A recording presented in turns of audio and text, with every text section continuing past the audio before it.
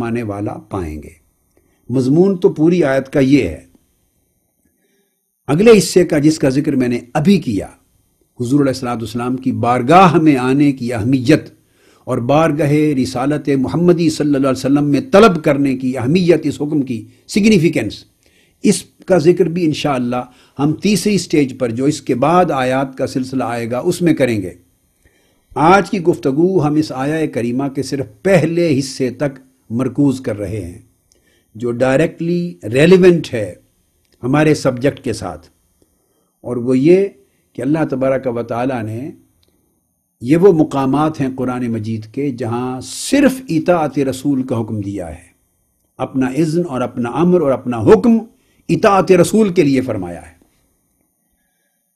तो ये जो आया करीमा है, सूरह निसा की आयत नंबर चौंसठ, इसमें इरशाद फरमाया अउज़बिल्लिनशैतवानरजीम वमा अरसलना मिर रसूल अब कि अल्लाह तबारक व ताली इर्शाद फरमा रहे हैं कि हम किसी रसूल को किसी कौम की तरफ़ और दुनिया की तरफ़ मबूस ही नहीं करते और किसी रसूल को भेजते ही नहीं हैं मगर सिर्फ़ इसलिए इल्ला के उसकी इतात की जाए।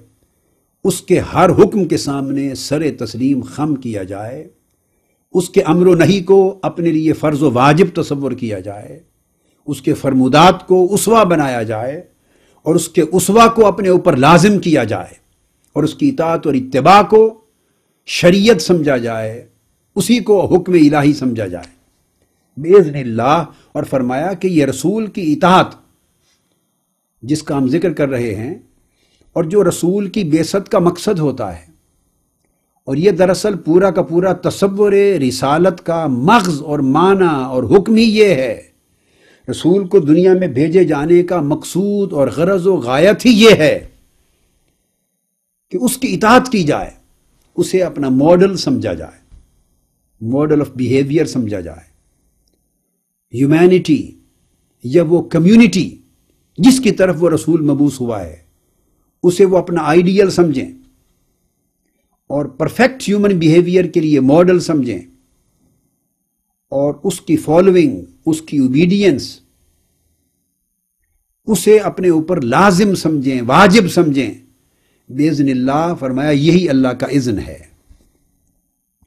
और बेजनिल्ला का कलेमा यह वाज कर रहा है कि लोग रसूल को मुता समझते हुए, यानी रसूल की सीरत को और सुन्नत को अपने लिए वाजिब और इतात समझते हुए और रसूल को वाजिब और इतबा समझते हुए और रसूल की ज़ात को, उनके फरमुदात को, उनके अहकाम को, उनके अवामिर को अपने ऊपर वाजिबन और लाजिमन कंपलसरी समझते हुए मैंडेटरी समझते हुए इंपेरेटिव समझते हुए नेसेसरी समझते हुए इंडिस्पेंसेबल समझते हुए उनकी ओबीडियंस उनकी फॉलोइंग वो ये गुमान जहन में न लाएँ कि हम इस रसूल की इतात कर रहे हैं।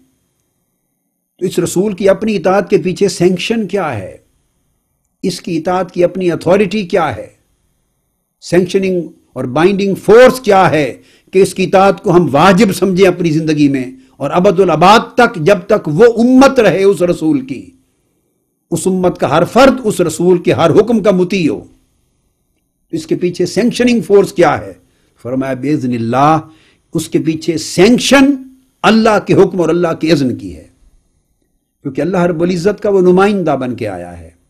अल्लाह तबारक व ताली की तरफ़ से वो रिप्रेजेंट करने के लिए आया है। उसकी अथॉरिटी मैनिफेस्टेटिव अथॉरिटी है रिप्रेजेंटेटिव अथॉरिटी है अल्लाह तबारक व की।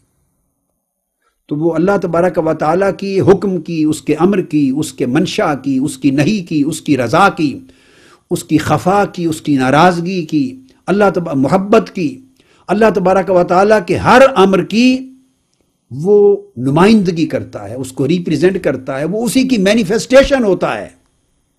ये अल्लाह का इज़न और अल्लाह का हुक्म है।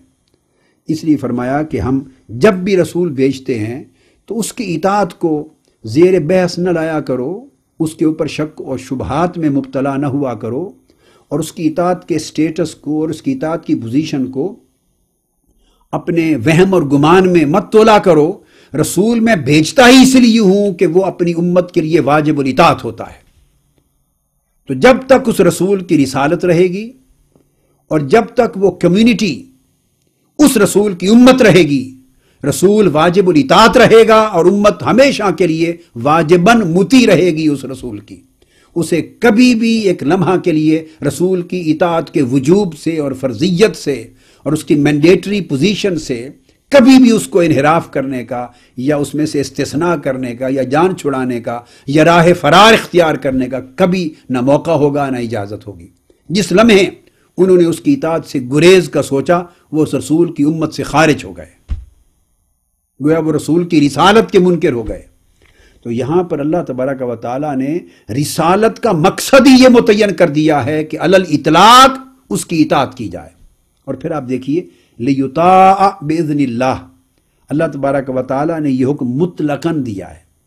वमा अरसल्ला मिर रसूल हम जिस भी रसूल को भेजते हैं तो कोई अल्लाह तबारक वाली ने मुतलकन निज़ाम रिसालत और तस्वर रिसालत और मनसब रिसालत की वजाहत कर दी है कि कोई रसूल इससे मुस्तना नहीं और कोई उम्मत इस हुक्म रसूल और शान रसूल की, के वजूब से मुस्तना नहीं है।